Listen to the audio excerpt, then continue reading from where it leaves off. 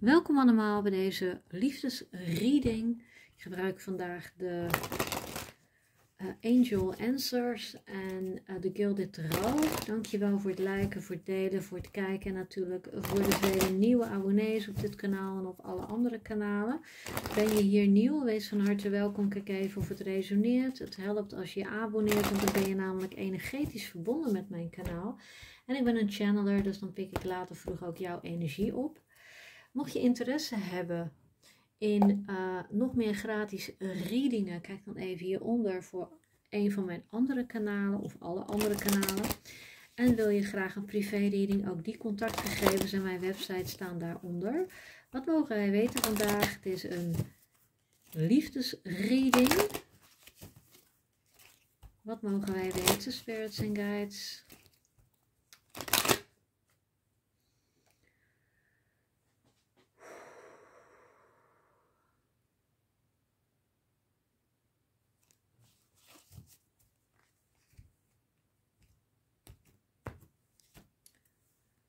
Is iemand uh, die je kent.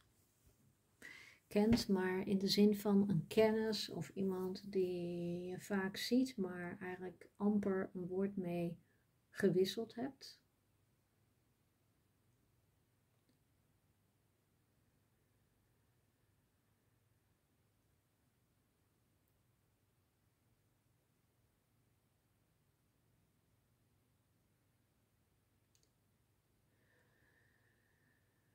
Het is iemand die onder de indruk is van je, die jou uh, een ware schoonheid vindt.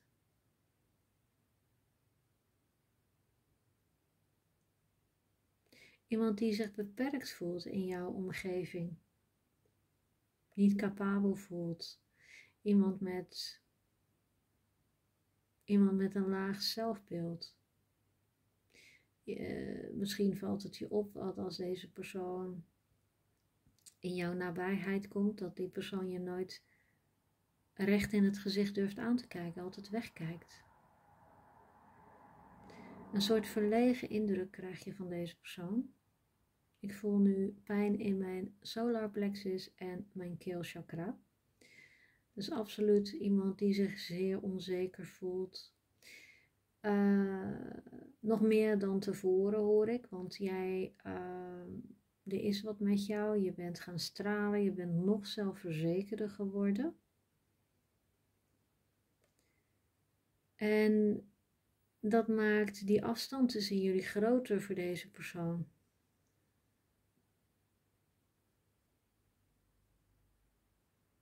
Als er al zeg maar onzekerheid was in de benadering,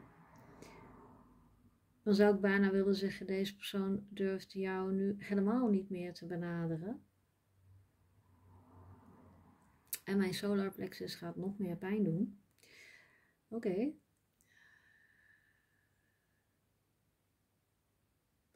Wat mag ik weten over deze persoon? Gaat deze persoon actie ondernemen? Nee. Maar fantaseert wel veel over je. Dus misschien dat je daarom deze energie soms voelt. Want het is iemand die dag en nacht. Wauw. Deze persoon heeft een ongezonde obsessie. Uh, deze persoon denkt dag en nacht aan jou. En raakt daar ook af en toe gefrustreerd van. Uh, hoe moet ik dat netjes zeggen, Spirit and Guides? Als deze persoon naar jouw foto's kijkt, dat kan ook online zijn natuurlijk, als je uh, ja, sociale media hebt dan uh, bevredigt deze persoon zichzelf daarmee op, noem je zoiets. Uh, maar er is frustratie. Frustratie omdat jij uh, zo'n. Ja, jij maakt met mensen connectie, jij lacht veel, jij hebt met iedereen eigenlijk contact die maar met jou in jouw nabijheid komt. En um, door die onzekerheid van deze persoon, en dat voel jij, hou jij bewust afstand van deze persoon. En dat maakt het nog frustrerender voor deze persoon, omdat deze persoon het al moeilijk genoeg vindt om contact te maken, zeker met jou. En dan voelen ze ook nog die zekere afstandelijkheid. Ze vergissen zich door dat arrogantie te noemen. Maar dat komt misschien ook wel omdat deze persoon steeds verder en dieper zakt in die frustratie.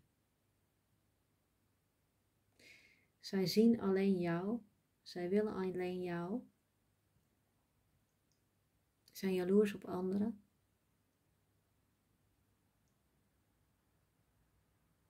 Wees niet bang, het is niet iemand die jou wat aan gaat doen, maar het is wel frustrerend omdat uh, deze persoon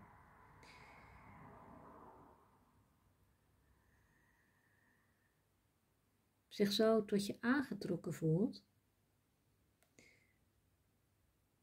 maar er niks mee kan. Of het gevoel heeft dat hij of zij daar niks mee kan. Jij voelt als onbereikbaar. Oké, okay. wat mogen nog meer over weten?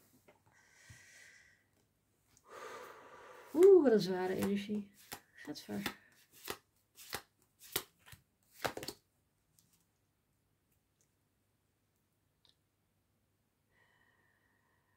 Blijf positief. Kan zijn dat uh, deze persoon af en toe een beetje raar doet in jouw nabijheid. Gewoon omdat ze niet goed weten hoe ze zichzelf moeten handelen, hoe ze zich moeten doen. Het is als een klein kind die voor het eerst verliefd wordt, zeg maar. Uh, de ander niet durven aankijken. Uh, deze persoon zal um, bijvoorbeeld, net als kinderen doen, als ze bijvoorbeeld zien op sociale media dat jij ergens naartoe gaat, uh, dat je ze daar ineens tegenkomt. En uh, ja, voor jou is dat misschien dat je denkt van, ach, dat is toevallig. Nee, dat is niet toevallig. Deze persoon wil, net als dat je vroeger op, op, op, eh, school, dan ging jij, um, als, je die, als je die crush had, hè, waar je verliefd op was op school, dan wist je, oh ja, in, op die dag, in dat tussenuur, dan als ik dan, weet ik het, in de kantine gaat staan, dan kom ik die persoon tegen. Of dan loop ik langs, of je knikt even naar elkaar. Hè? Ik heb het gevoel dat deze persoon dat soort dingen doet. Blijf positief, ook naar die persoon toe. Want weet, deze persoon heeft het er moeilijk mee. Wat nog meer?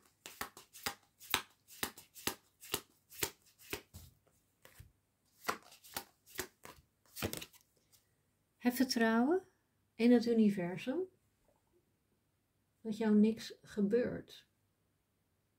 Ook heb je het misschien als je zeker hooggevoelig bent of empathisch bent, dat je soms uh, je onzeker voelt. Maar dat is dus de energie die die ander uitstraalt. De ander moet leren positief te blijven en zelfzeker te worden. En misschien ben jij wel die spiegel die jij voorhoudt aan de ander om, dat, om daaraan te werken. Uh, weet dat dit niet jouw persoon is. Weet dat er uh, een veel betere persoon is. There's something better. Dus weet dat. Maar ik denk zelf als jij zo zelfverzekerd bent en je hebt iemand op je pad die heel erg um, onzeker is, dat dat juist ook niet aantrekkelijk is voor je. Wat mogen wij weten over blijf positief? Laat deze persoon achter. Deze persoon is blind. Het is een molletje, is blind. Deze persoon moet nog heel veel leren. Wat mag ik weten over vertrouwen? Ja, jij bent succesvol misschien wel, of in ieder geval omdat jij vertrouwen hebt of omdat je hebt gewerkt aan zelfvertrouwen. Um, en blijft vertrouwen hebben in het uh, universum, brengt tot jou verder. Dan mag ik weten dat er iets beters voor jou in het verschiet ligt. Iets beters.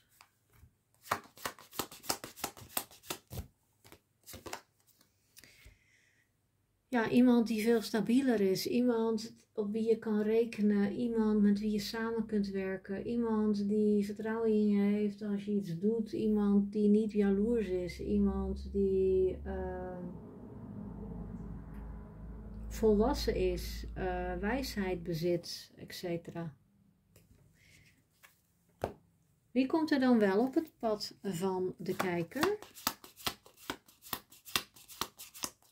Twee kaarten hoor ik nog. Wie komt er dan wel op het pad die beter is? Laat in eerste instantie deze persoon gaan. Laat die persoon ook energetisch los. En wat nog meer?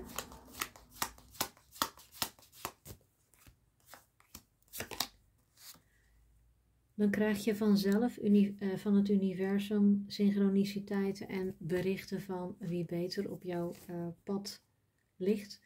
En kies ook daarbij een nieuwe richting. Dus laat deze oude richting los. Dus stel dat dit gaat om iemand die op jouw sportschool zit. Neem dan, ga dan op een andere filiaal van deze sportschool sporten. Laat die persoon achter. Wat mogen wij nog meer weten over loslaten, achterlaten van deze connectie? Een keizer komt op jouw pad. Dus dat is iemand van jouw kaliber, een gelijkene. Kan een ram zijn. Wat mag ik meer weten over meer informatie? Die keizer zal uh, jou uit gaan vragen. En uh, je merkt aan de attitude, aan de houding, dat je echt iemand hebt die weet waar hij of zij over praat. Uh, ja, hoe ze een vrouw of een man moeten behandelen, et cetera, et cetera. Die nieuwe richting. Oh, wacht. Die nieuwe richting mag ik hier een kaart nog uittrekken. Jij gaat een nieuwe richting uit en het is uh, onwaarschijnlijk dat uh, jij dan nog voor deze persoon kiest. Dat is wat hieruit komt. Oké. Dus um, bedenk het en heroverweeg deze situatie onderaan het dek. Jij bent die keizerin, of je nou man of vrouw bent. En deze persoon is de ware voor je en niet die onzekere persoon. Dankjewel voor het kijken. Tot de volgende keer. Namaste.